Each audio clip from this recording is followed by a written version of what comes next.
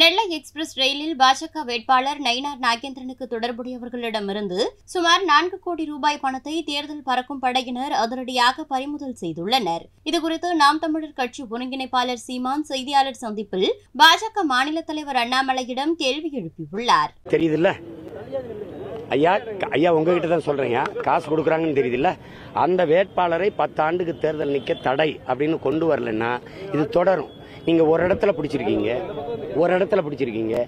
மற்ற இடங்கள்ல காசு கொடுக்கப்படலையா மற்ற இடங்கப்படலையா எல்லா இடத்துலையும் எல்லாருக்கும் தெரியுது காசு ஆனால் அது ஒரு இடத்துல வெளியில் வந்திருக்குது. இந்த முறை ஒழிக்கப்பட்டு நல்ல ஜனநாயகம் மலரணும்னா காசு கொடுக்கிற வேட்பாளர்கள் பத்து ஆண்டுக்கு தேர்தல் நிக்க தடை என்கிற ஒரு கொடுஞ்சட்ட கடும் சட்டம் வந்தாதான் இந்த கொடும் முறை ஒழியும். இல்லைன்னா இது ஒண்ணு இல்லை இப்ப நாலு ஓடி பிடிச்சிருக்கீங்க. அவ்வளவுதானா காசு? வேற இடத்துல இல்லையா?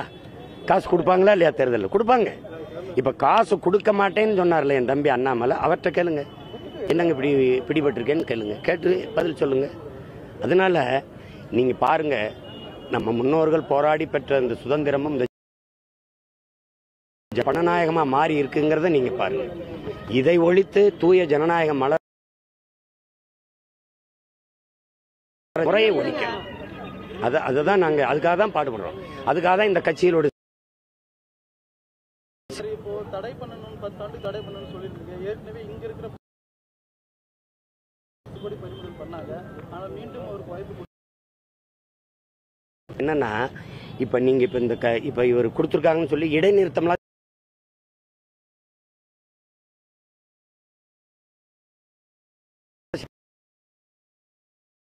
புரியல?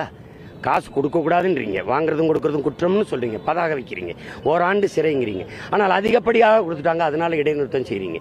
இடைநிறுத்தம் செஞ்ச திருப்பி தேர்தல் அறிவிக்கும் போது யார் அதிகப்படியாக காசு கொடுத்தாருன்னு சொல்றீங்களோ அவரே தான் போட்டியிடார் அவரே தான் வெல்றார். அப்ப இந்த முறையை ஒழிக்க ஒரே வழிதான் இருக்கு. பத்தாண்டு நீங்க தேர்தலில் நிக்க தடை. ரெண்டு தேர்தலுக்கு நிக்க முடியாதுன்னு ஒரு ஒரு தடவை அறிவிச்சு பாருங்க வலியுறுத்தல் கட்சி கட்சி ரத்து பண்ண வேண்டியதில்லை. கட்சியில நேர்மையான இருக்கலாம் செய்திகளை உள்ளது உள்ளபடி தெரிந்து கொள்ள ரெஃப்ளெக்ட் நியூஸை சப்ஸ்கிரைப் பண்ணுங்க.